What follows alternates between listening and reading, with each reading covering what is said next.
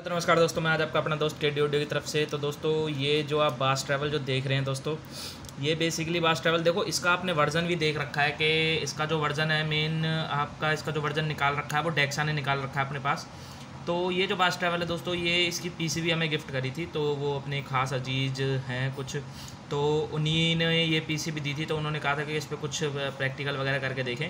तो कुछ क्वालिटी में इन्हेंस हो या कुछ, अपनी तरीके से आप जो भी है करके बताएँ। तो ठीक है तो ये पीसीबी हमें मिली थी और उन्होंने गिफ्ट करी थी। तो थैंक यू सो मच जिन, मैं उनका नाम डिस्क्लोज़ नहीं करूँगा क्योंकि सबकी पर्सनल एंटाइटी होती है। तो मैं उनको वीडियो में थैंक यू कहना चाहता हूँ। और ये आप देख सकते हैं स्टीरियो बास ट्रेवल है, ठीक है दोस्तों?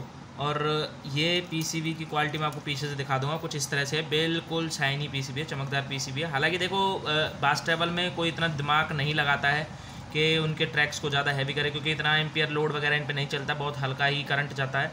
तो ठीक है, उस हिसाब से इन्होंने बहुत अच्छी बनाई है। और इसमें हमने जो देखो मॉडिफिकेशन करी है, वो मैं आपको बता देता हूँ। यहाँ जो बाईस के लगे हुए हैं, यहाँ हमने ये लगा दिए हैं अपने उनतालीस के ठीक है? ये जितने भी चार उनतालीस के लगा दिए हैं। और जहाँ टेन के की रेजिस्टेंस होती है, देखो ये वाली तो यहाँ पे हमने फाइव पॉइंट सिक्स के की रेजिस्टेंस लगा दी, जिससे थोड़ा बेस और हैवी हो जाएगा। और वन के की रेजिस्टेंस अपने ट्रेवल पे है और जो इसमें आपको थ्री पॉइंट टू के जो पीएफ दिख रहे हैं, यहाँ पे हम जो पीएफ यूज़ करेंगे, वो 222 के पीएफ यूज़ करेंगे, जो कि अच्छे और बढ़िया ट्रैवल के लिए होगा। ठीक है, बाईस के की रेजिस्टेंस ऊपर जो टेन के की आपको दो दो रेजिस्टेंस दिख रही है, हमने फिफ्टीन के की रेजिस्टेंस लगाई है, जो कि इनकी जो हमिंग और जो ग्राउंडिंग है, वो उसको बिल्कुल वो ज़ीरो कर देंगे क्योंकि टेन के रेजिस्टेंस में थोड़ा सा क्या है कि आपका कुछ ना कुछ परसेंट आपका ग्राउंडिंग का रह जाता है तो थोड़ा बहुत नॉइस बन जाता है उसमें तो इस वजह से, ठीक है?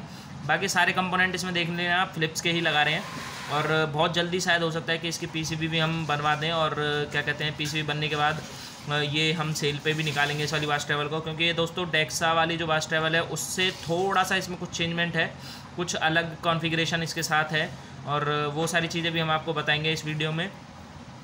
तो इसमें कुछ रजिस्टेंस जैसे 4.7 के ये रजिस्टेंस कुछ अलग हैं उस वाली से ठीक है, और यहाँ पे 5.6 के की रेजिस्टेंस लग रही हैं। ये भी जो अपनी डेक्सा वाली बास ट्रेवल आती है, उससे अलग है, जो आईसी वाली है L M three two four वाली।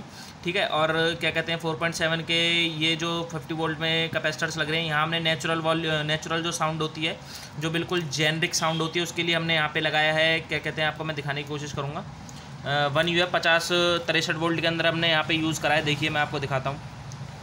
ये देखिए, अगर आप बिल्कुल थोड़ा सा अच्छे तरीके से देख पा रहे होंगे तो ये देखिए, वन यू एफ़ तिरसठ वोल्ट के अंदर हमने बी सी फ्लिप्स के ही ये कैपेसिटर्स लगाए क्योंकि इससे क्या है कि आपकी जेनरिक जो साउंड होती है ना, वो बनी रहती है। उसमें कोई भी अलग से एक्स्ट्रा बेस ट्रेबल वगैरह मिड नहीं ऐड होती। तो आज की वीडियो में दोस्तों सिर्फ़ इतना ही है, मिलते हैं किसी नेक्स्ट वीडियो में, और क्या कहते हैं, इस बार ट्रैवल को कंप्लीट रेडी करेंगे, और रेडी करने के बाद इसकी एक फाइनल लुक भी हम आपको दिखाएँगे कि क्या कुछ इसकी क्वालिटी है, ठीक है? तो मिलते हैं किसी नेक्स्ट वीडियो में थैंक यू सो मच दोस्तों।